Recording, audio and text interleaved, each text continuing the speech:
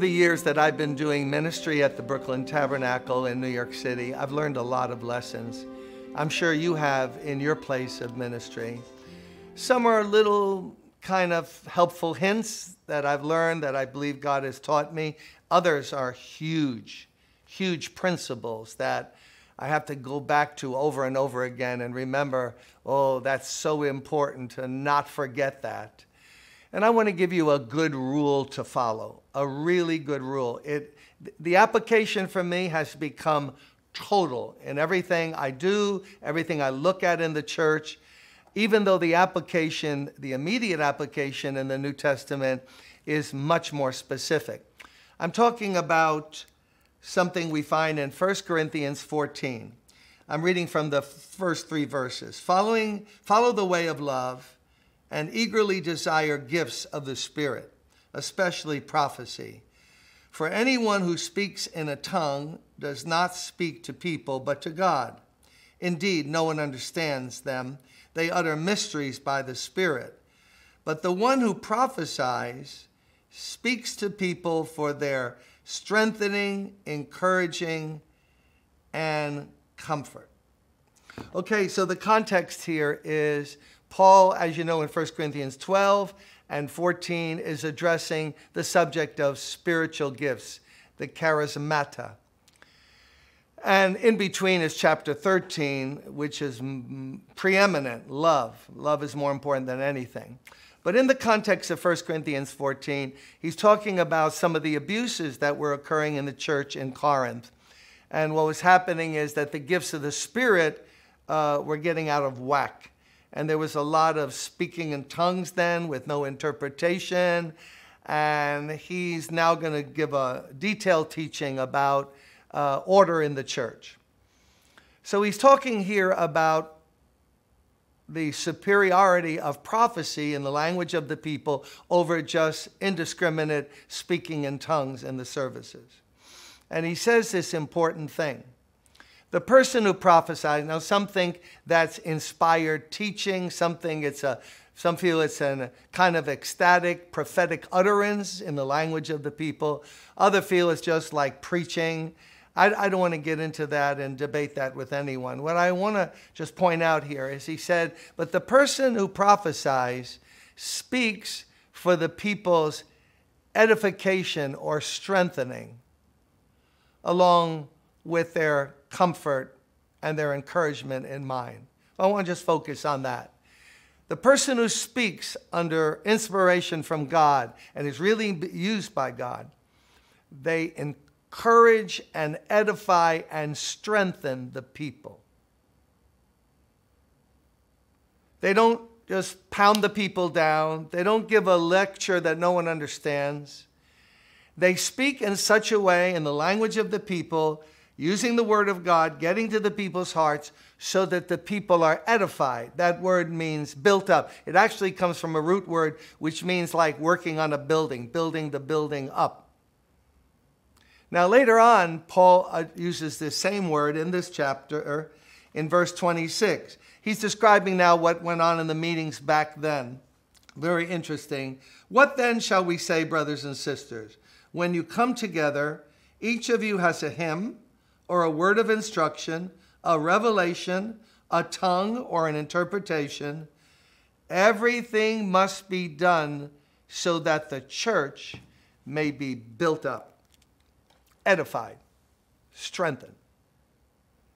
He's saying no matter what happens in the service, make sure it edifies and builds up. If it doesn't, you have to ask the question why am I doing this? Why are we letting this go on? No one's being strengthened, no one's being edified. What a wonderful rule! What a wonderful rule.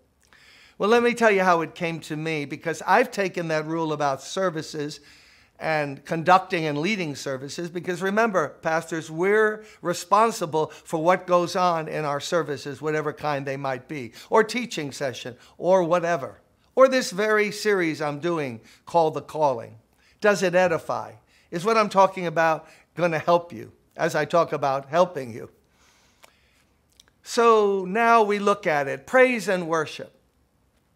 We have to step back, leaders, and say, What's really happening here? Are the people being edified? Sometimes they're being led and they're worshiping God. Boy, does it strengthen them. They're being led into the presence of God and they're worshiping God. Sometimes I've been places or even noticed it at our church uh, where the praise and worship team is getting a little bit carried away into a concert mode and the people are more or less clapping along or whatever. Uh, mm, this is not strengthening them. This is not edifying them. Why are we doing this? How about how we take an offering? Now, there's a tough one. Is this edifying the people? Is this building them up? Is this increasing their faith, or is it just a mechanical thing? How about our sermons? Is the subject I'm speaking on, does this really help the people where they live? If it doesn't, why am I speaking on it? You know, you and I might have a secret interest on the history of the Philistines. But as great as that might be to you and I, who cares in terms of the folks that are fighting battles every single day? They need strengthening. They come to church to be edified. Does this sermon edify them? Does the subject matter? Or how about this? How long? How long we speak? Does this edify? I was once in a service in Argentina where the speaker spoke for two hours and 20 minutes. I'm sure he thought it was great, but I checked out after about an hour. And so did the people. We just couldn't wait. Like, can we please get out of here?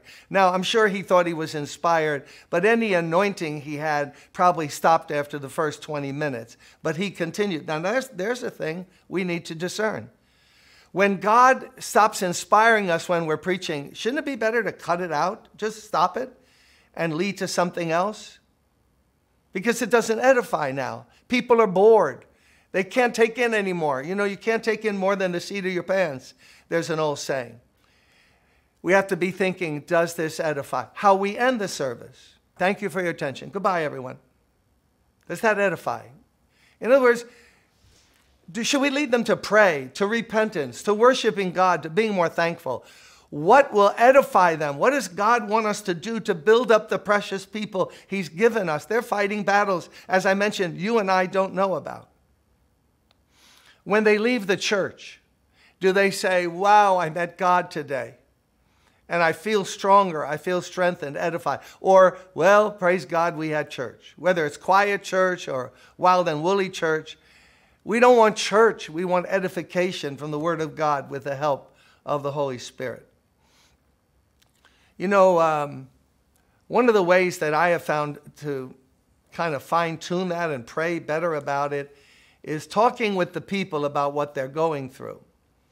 Um, so I never have never stopped counseling people because I learn a lot.